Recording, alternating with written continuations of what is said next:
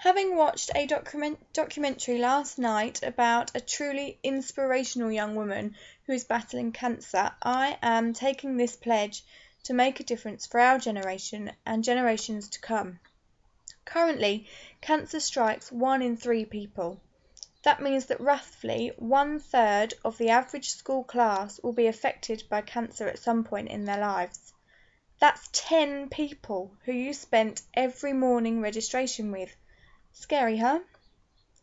On that note, I urge every single one of you who is reading this to take one hour trust me, if I can take an hour, you can of your time to watch this incredibly humbling film about a woman called Kris. She's dying to live. The link's below. My aim is to raise £10,000 for CoppaFeel in the next year.